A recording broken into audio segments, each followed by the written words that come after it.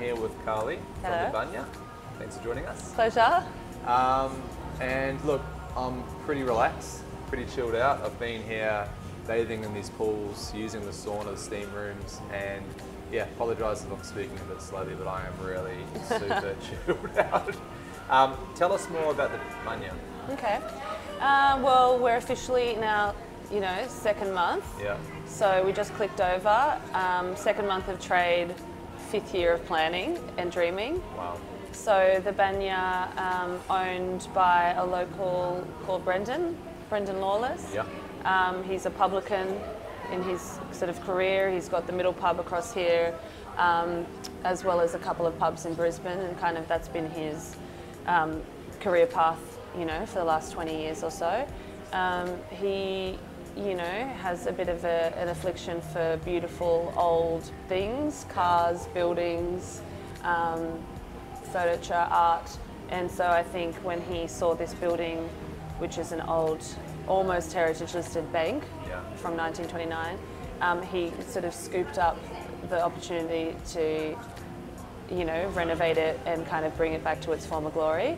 So then the bathhouse kind of is a bit of a dream that he's had from um, his travels around Eu- Europe, specifically Russia Yeah. um, I should say Northern Europe and Russia, Yeah, um, yeah. where he's you know experienced so many bathhouses, and the styling there is very much go, enjoy, stay, have a cleansing ale, eat a bunch of fresh food, Yeah. socialise. Yeah.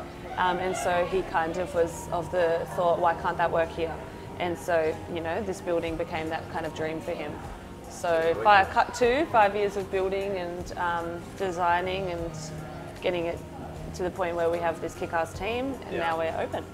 It's amazing though, coming here and having this experience. It's and especially in Mullumbimby out of Yeah, all places, like you just wouldn't expect it. And that goes to answer my question of why did he create it? So it Yeah. sounds like more from his travels. He was inspired from that. Yeah, definitely. Um, from travels and just, I guess, from the way it made him feel Yeah. uh, um, when he was in those venues, same as probably how you feel now. Yeah. yeah. Um, although, you know, with a cleansing ale, maybe instead of a decaf coffee. I was going to say decaf coffee sort of goes. Yeah. with- Um, so I think that he kind of was just, you know, a- spa kind of enthusiast, Yeah. and that's definitely, I can relate to that. That's why I was so drawn to this role as well. Yeah, um, and yeah, so he kind of has the, had the means and the dream, and thought, why not? And why did you choose Mullumbimby out of all places to set this up? Um, well, Brendan's from Sydney, Yeah. but he's been living up here for years and years now. Yeah. Um, and I think that uh, the opportunity here regarding, you know, this is where he lives. Yeah. He's um, got his main business here.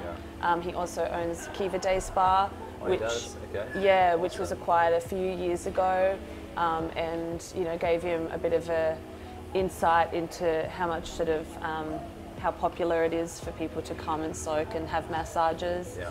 Um, and so kind of, although we're completely different to Kiva, styling and vibe wise, Yeah. um, he kind of had experience and he knew that it could work. So I think that's kind of why. Okay.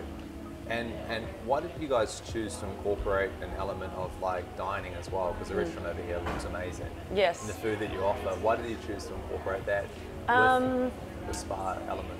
Well, I guess that's from his travels. You Yeah, know, that's okay. that's the way kind of um, you would experience bathhouses across Europe, Yeah. where they have a bar inside of them, where you're able to, you know, sip a prosecco or get something light to eat. Yeah. Um, so it also kind of speaks to the social aspect of the business as well. Yeah.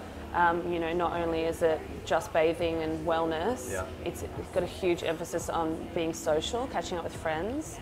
I always say that there's no real rules here, Yeah, yeah, yeah. besides no glass by the pool. no drinking in the pools, right? um, right, but there's no real rules. You know, Yeah. you can giggle and laugh with your friends, and Yeah. you can be a bit flirty, and Yeah. it's yeah, it's a lot more of an environment where you can, you know, have that experience. So food and beverage just goes hand in hand with that, Yeah, awesome. um, and also just physically after you've sweat and plunged and sweat and plunged, and you know, you've kind of gone through this full-on metabolic Yeah. like And it thing. is a proper metabolic, like those pools are proper cold as well. Yeah. Which I love. Yes, it's Because going so from good. that steam room, that's a proper So steam room. hot. Like literally, I laid down there before, I like drifted off, and then I was like, how am I going to get out of here? You know, like, Yeah. the walkout was hot, Yeah. but then straight into that cold plunge, man, Yeah. it feels so good after it. yeah, and then you get starving. You do, I'm hungry now. Yeah. Yeah, I am. Coffee's you know. So, um, and we've got the space, you know, Yeah. To kind of, I guess, be able to offer that, you know.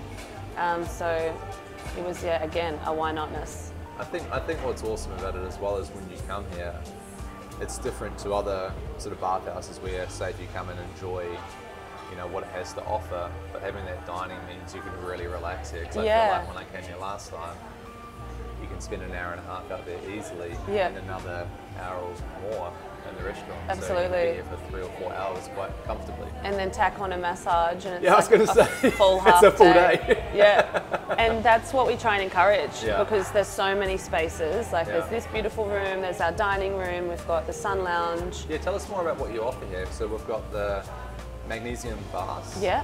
And, and yeah, tell us more.